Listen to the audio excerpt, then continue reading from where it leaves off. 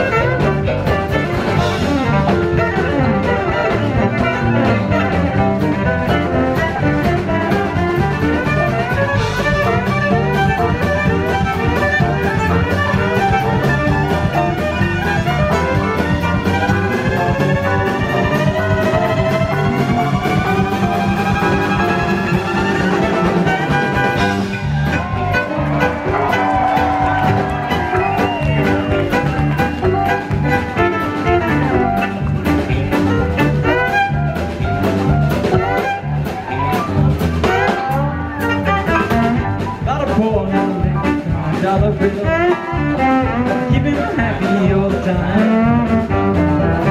Some of the fellows